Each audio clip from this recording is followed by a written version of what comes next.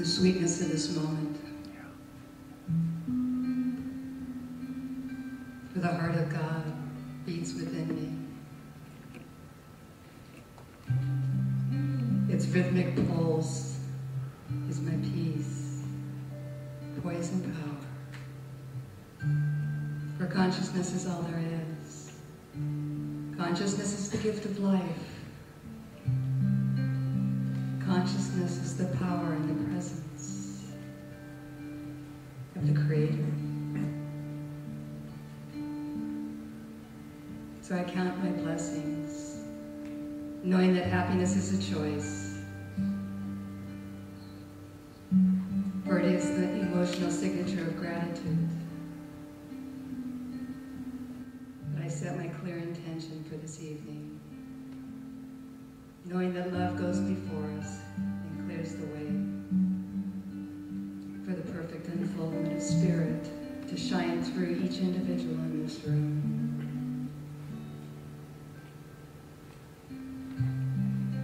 That we see is the invisible presence and the many blessings and miracles that take place as we allow and let go and just receive the message this evening. For it is love. It is the way of love that opens our hearts and brings us together as community as we go within. It God. So it's with a sense of celebration and gratitude, allowing this evening to just unfold in its own perfection.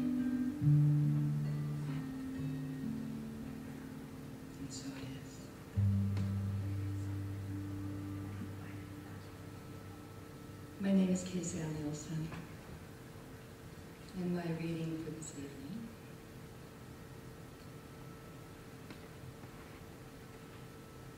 is something from, from um, Dr. Christian in the book Gratitude is a Way of Life.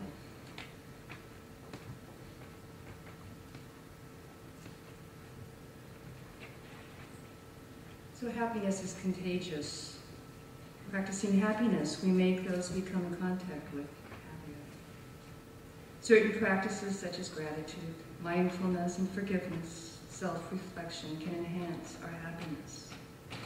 With mindfulness, we can re rewire our brains to be happy, compassionate, and kind. All that it takes is practice. Practicing forgiveness reduces tension, anger, and stress. It is directly correlated to the physical, our physical health. The act of generosity increases happiness. Giving to others releases endorphins, activating the parts of our brain that are associated with trust, pleasure, and social connection.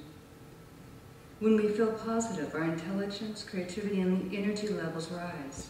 Dopamine floods the brain when we are positive.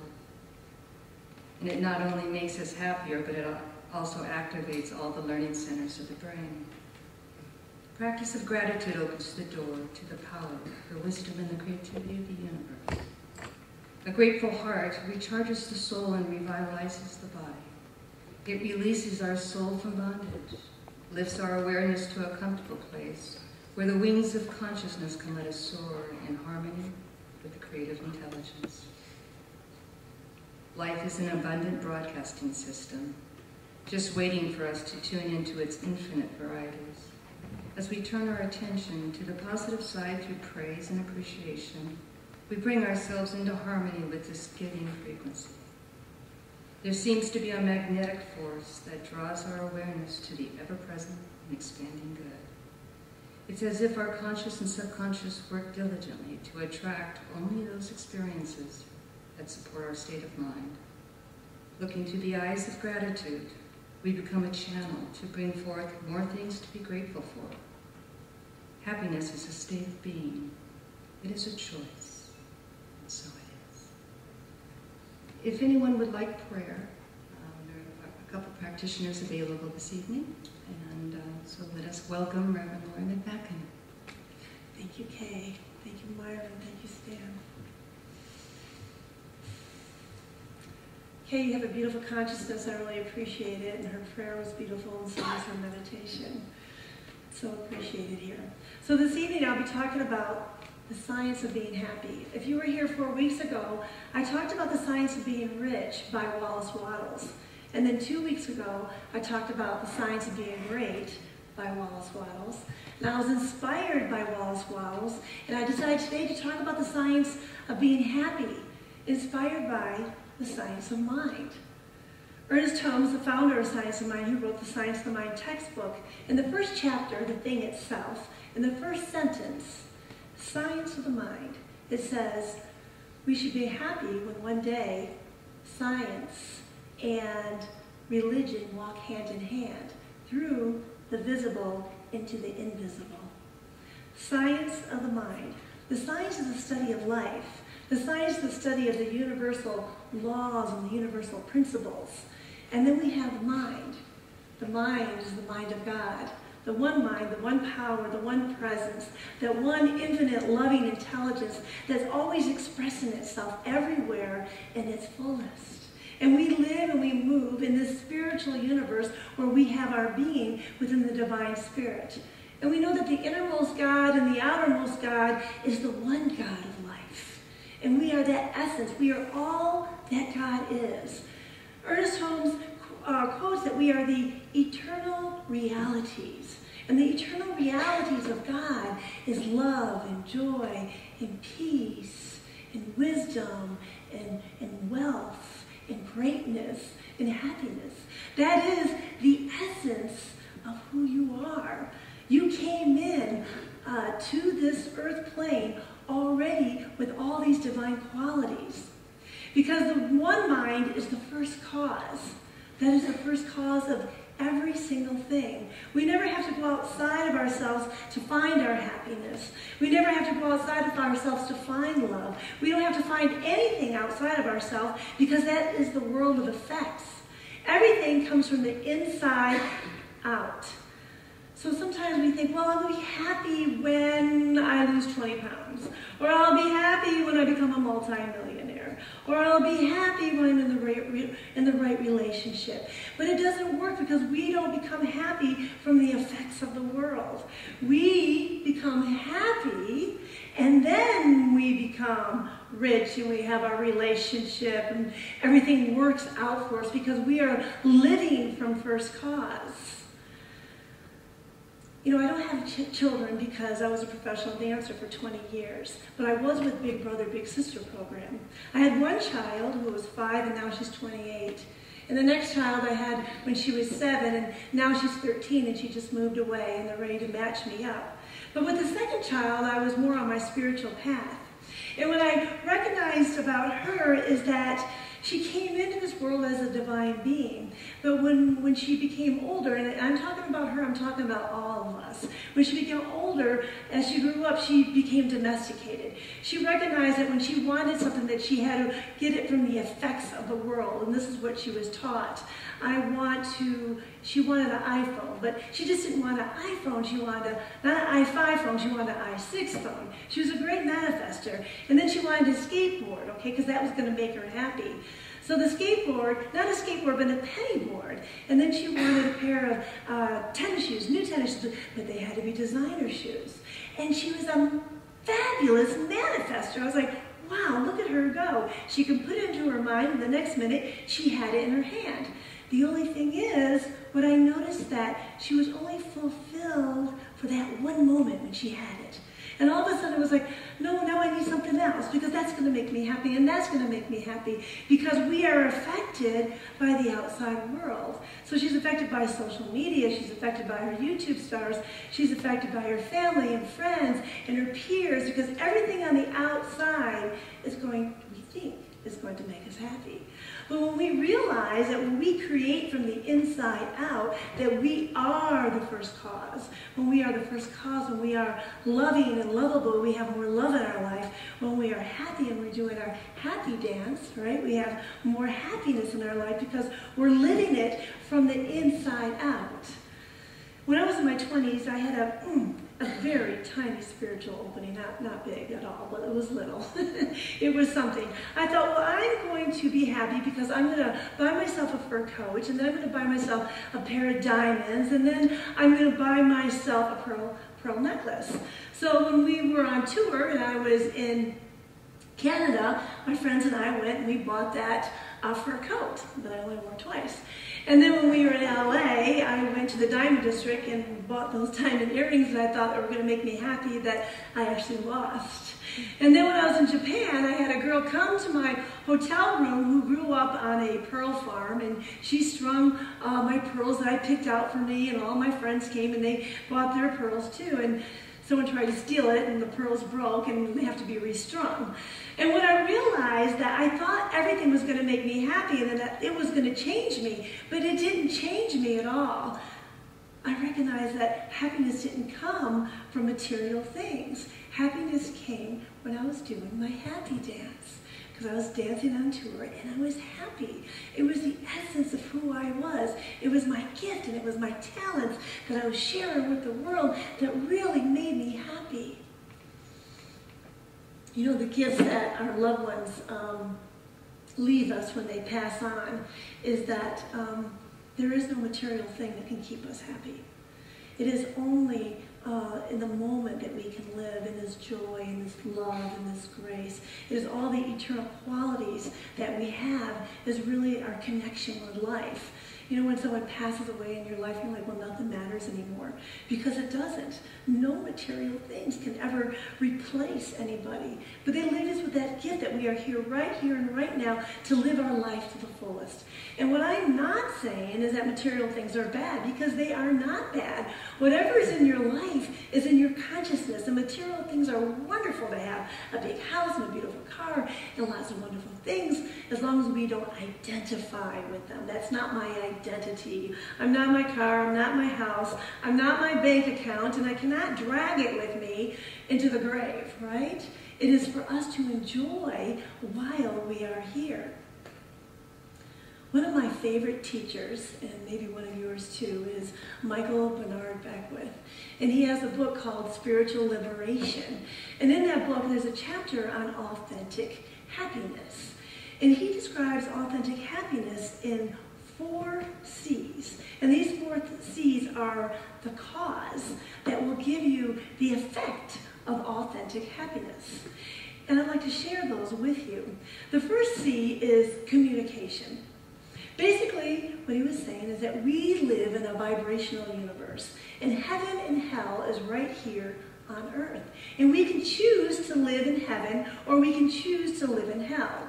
Some other religions believe that heaven and hell is where you go when you die, but we know that we are eternal beings and we have all these eternal qualities and what we take with us when we pass on is our consciousness that we expand into while we are here on planet Earth. So when you're here, you have a choice. Do you want to live in heaven or do you want to live in hell? And the first way to get to heaven or hell is through your communication. So if you are vibrating at a lower denominator communicating, you are um, involved in gossip and complaining. And you will get an effect from gossip and complaining like that, like ASAP. For instance, I'm going to stand here because I'm going to be your target, and I want you to gossip about me in your mind, not out loud, or to say something negative about me. Okay, I'm just going to give you a second. Go ahead, do it. give me your best shot. so what happens when you do that, you're throwing an arrow out at someone, and it's coming back and it's hitting you in the heart. And it doesn't feel good, right? It doesn't feel good to complain. When you complain, it's like a negative arrow that comes back and gets you. And when you're gossiping about someone else, you're really projecting negativity about yourself. Okay, so I'm going to let you make amends. I'm going to be the target, and I'm going to let you bless me. I bless you and I accept you. Go ahead, give me a blessing. Ah, it feels good. So when you do that, you shoot that target out. What happens? You internally are in heaven because you feel good about yourself. Even people that challenge you, you can always say, I bless you and I accept you and just allow them to be who they are. And this is the difference between heaven and hell. Sometimes we feel like we have to be spiritually correct, or we have to be politically correct, or romantically correct, or professionally correct in the words that we communicate, right? And in order to communicate them, we might put some sweet sauce in our words to make it sound good. But inside, is another story. Inside, we are feeling negativity. We are not communicating really how we are feeling. So we're actually being unauthentic, and we're being unauthentic with ourselves. And it is a question how can we be honest and be authentic with people in our lives to have this unconditional happiness flow through us? And so, uh, it is to set an intention in your life to be aware of how you are speaking and how you are listening. So when you set an intention to be aware of how you are speaking and how you are listening in your life, you open your ear to that divine whisper.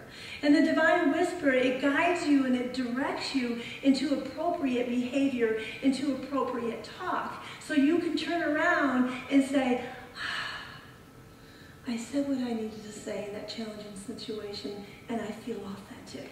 I'm not being fake. I'm not just spicing it up. So you walk away feeling whole and complete.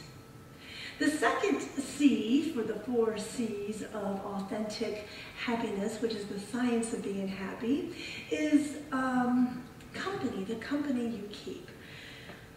You know, we think that we are adults and we're not influenced by other people, but the company you keep will influence your destiny. Now, when we were kids, I know that I had a group of kids that I hung around with. We were like the little rascals. There was a bunch of us. There was boys and girls.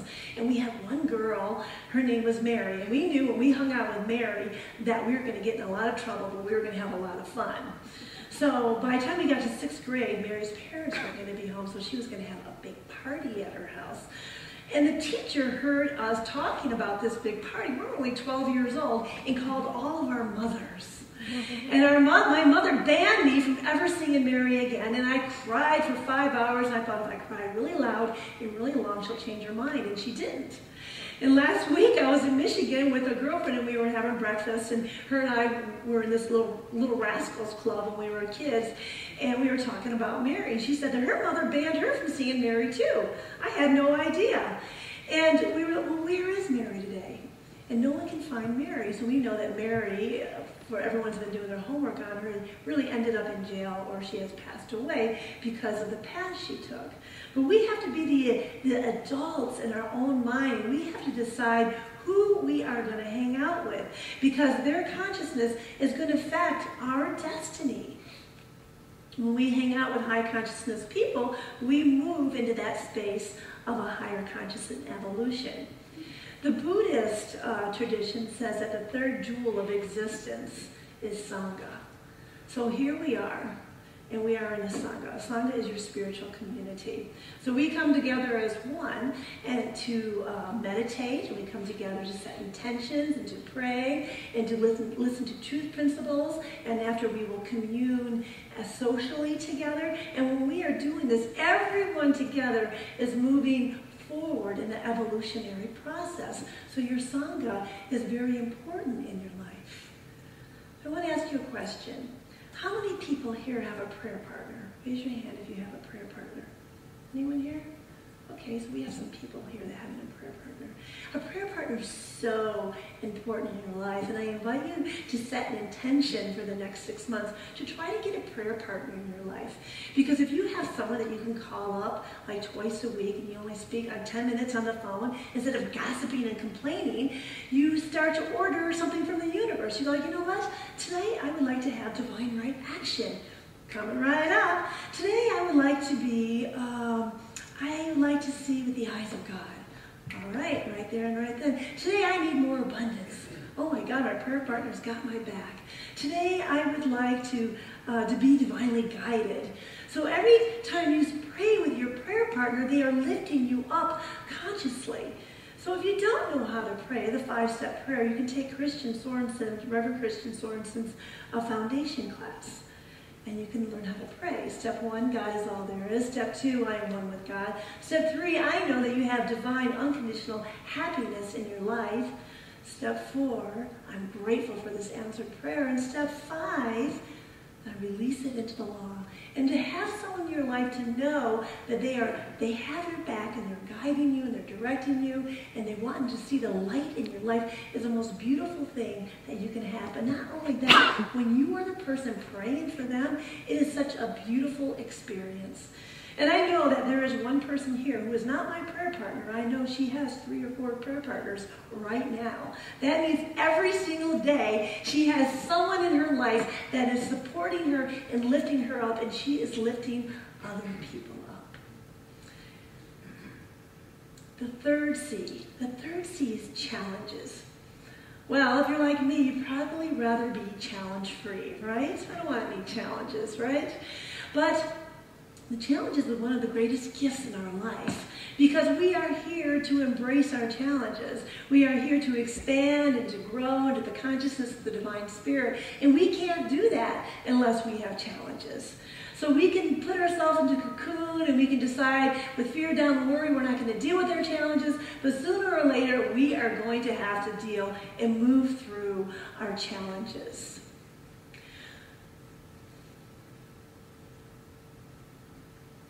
Courage. Courage is a, a French word meaning courage. And courage is, uh, the meaning of it is the heart and spirit. And when we have courage to go through the dark tunnels of our life, what happens when we come out of that tunnel, we open up to a new paradigm. Think of a time in your life where you had to have that courage to go through that fearless tunnel. And when you came out of it, the light the light was bright and your, and your, and your paradigm shift came to a different position in your life.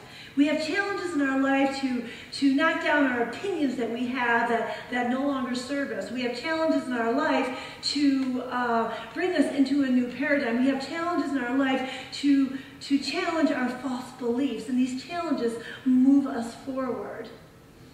In the fairy tale story, Alice in Wonderland, written by Lewis uh, Carroll, there is a really cute scene between the queen and Alice. And the queen asks Alice how old she is. And she says, I'm seven and a half exactly. And the queen said, well, you don't really have to say exactly. I can, I can believe you. But if you want something to believe, I am 101 Five months and one day. ah, I don't believe that. Oh, my darling, you don't believe that. What a pity. Now let's try this again. Just close your eyes and breathe. There's no use trying. I don't believe in the pos- in the impossible. I dare say you don't have much practice, do you? Why, when I was your age, I would practice for a half hour a day. Matter of fact, sometimes I would Think six impossible things before breakfast. And that quote, six impossible things before breakfast, became famous. Matter of fact, they have clubs of six impossible things before breakfast clubs.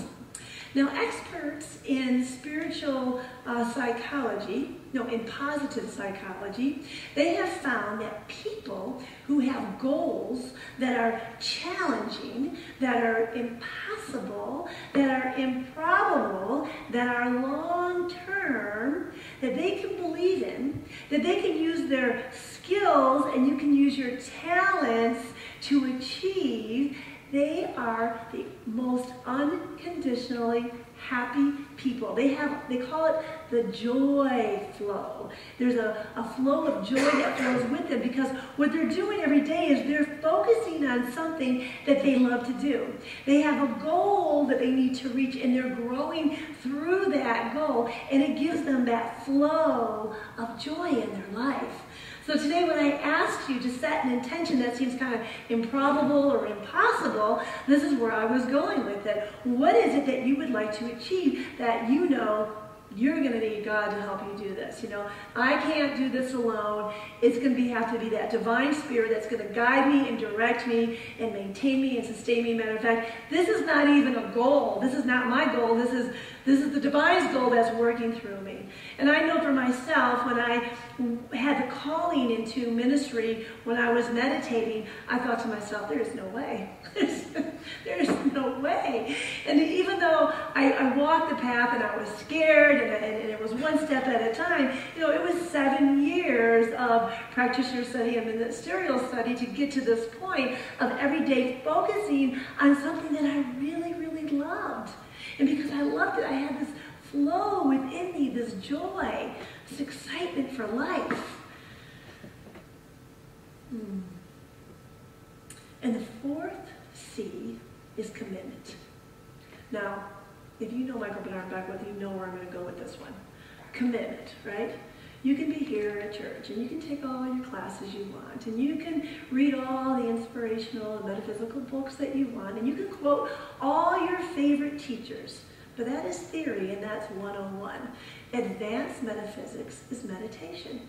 And his quote is to sit under the Buddha tree of your own consciousness on a daily basis.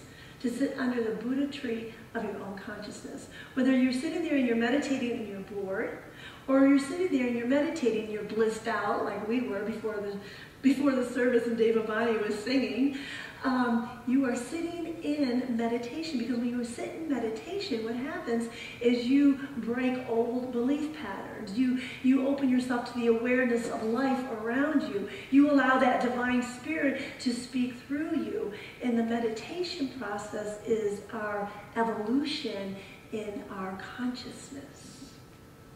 So can you commit? Can you commit to the four C's?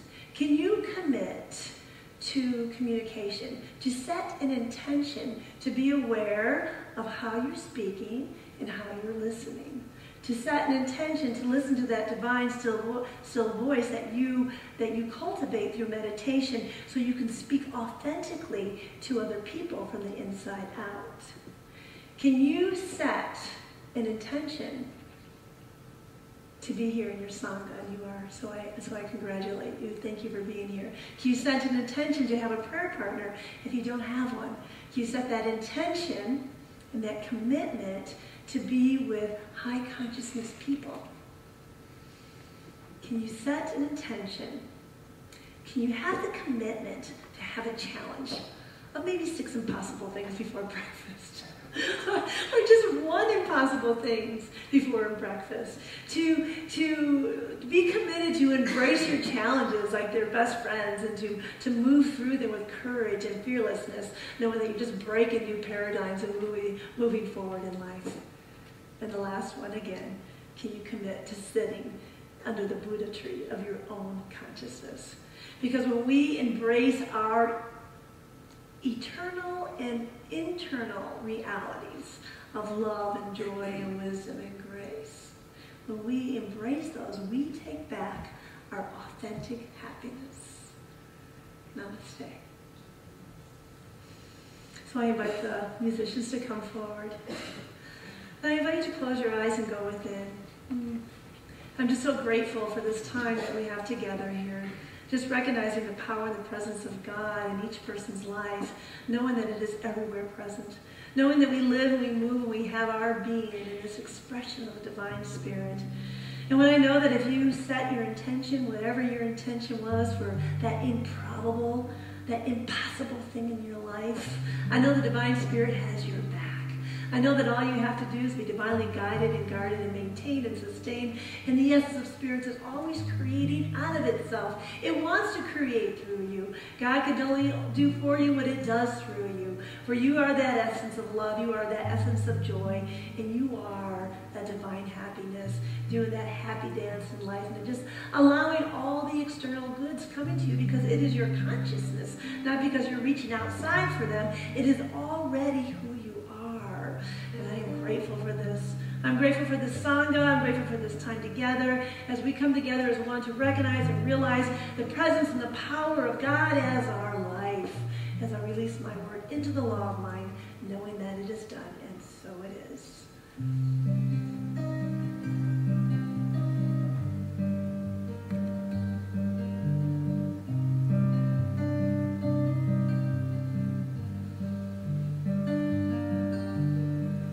know you're listening and you hear me.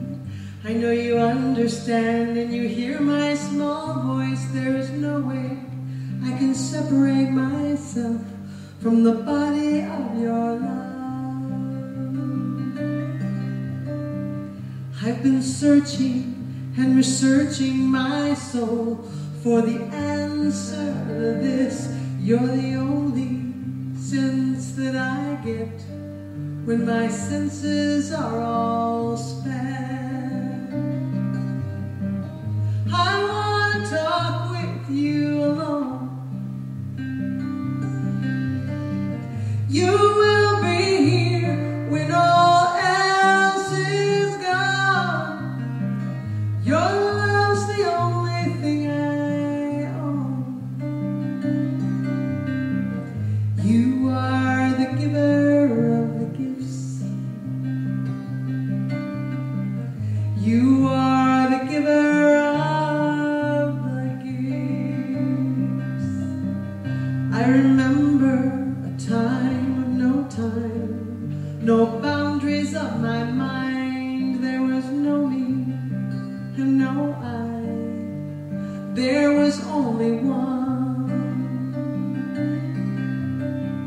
For now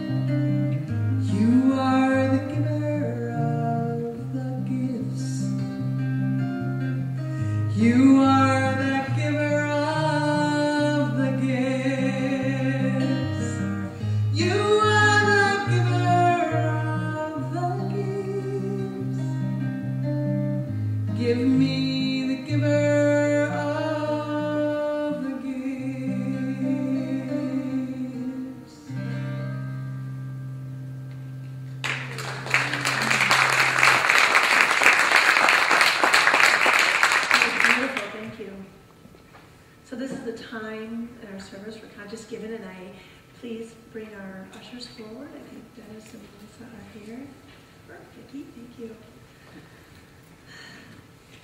So I invite you to take your gift and place it over your heart, knowing that your gifts here expand and grow the consciousness of Seaside and allow us to uh, operate our facilities and our Wednesday night service. And Steve, may I please have our affirmative affirmation? Together we say, freely I give, freely I receive. I am immersed in a universal flow, knowing my gift does good work in the world and returns to me multiplied abundantly. And so it is. Thank you.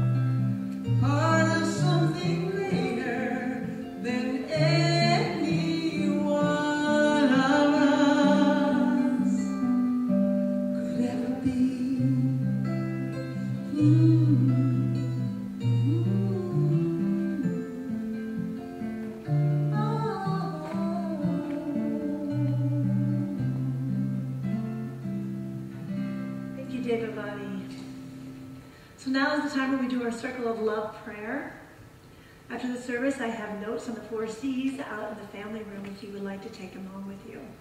So this is the time when we bring our loved ones into the circle of love, when we practice the religious science teaching, recognize it is the power of prayer that heals.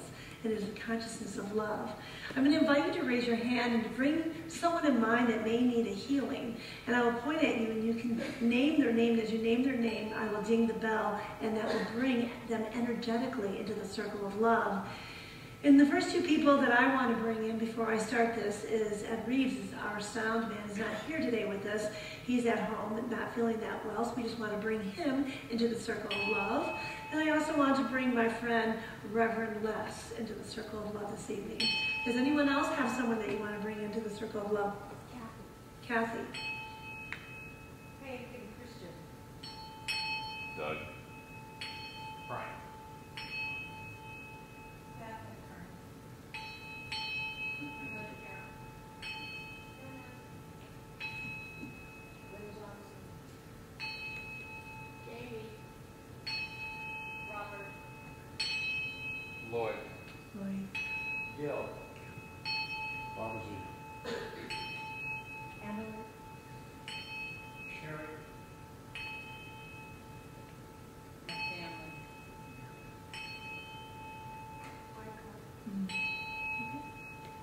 Anyone else?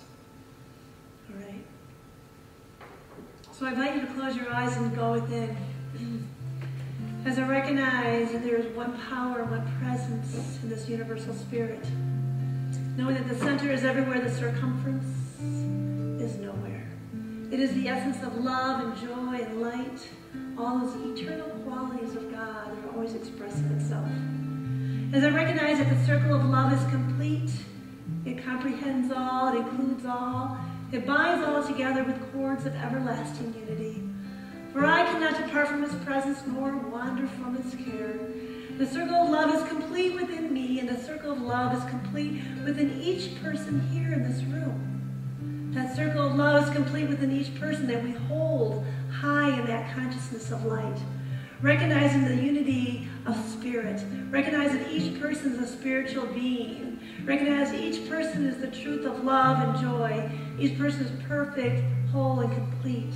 Each person is a perfect God, a perfect man, a perfect being. If there's any lack or limitation, we know that the universe is abundant and each person internally is abundant, and that is the essence of who they are. If there's any discord, we know there's perfect harmony Any disease, we know that God is perfect and man is perfect in every single moment. And I am grateful to lift everyone up into that spiritual light, that light of love, that light of joy, knowing it's always expressing itself. And I'm so grateful for this healing. I'm so grateful for this divine knowing that each person here has that loving essence of God and the people that we've held in the consciousness of the divine. As I release my word into the law of mind, knowing that it is done, and so it is. Thank you. So now I'd like to give a couple blessings. I'd like to thank Ginny Mills. I would also like to thank Steve Grant, the first time by himself doing the video, the sound. Thank you, Steve. And my mother's favorite person, Gregory Neville. Trisha, thank you for holding us in light. Kay Samuelson, thank you for grounding us in spirit. Martha Connor, are you here? She's here. Thank you for your professional voice doing announcements. Martha is a voiceover teacher. If you want to take classes with her, you can see her after. And Dave Avani, you're so beautiful. Thank you for sharing. your voice with us. Invite them to sharing your talent. They are pros. Did I forget anyone? All right. Well, I invite you to stand. We're going to do a blessing. It's going to be a call and a response. I'm going to say the first line and then you say it after, okay? I consciously choose happiness as a way of life. I consciously choose happiness as a way of life upholds me, it blesses me and inspires me. Happiness upholds me, it blesses me and inspires me. I am intoxicated with authentic happiness of pure spirit now. I am intoxicated with authentic happiness of pure spirit now. And take us home. Please sing this with me. The words are on this. Steve, can we have the words to home? Good is calling me home. Love has opened the door. Love.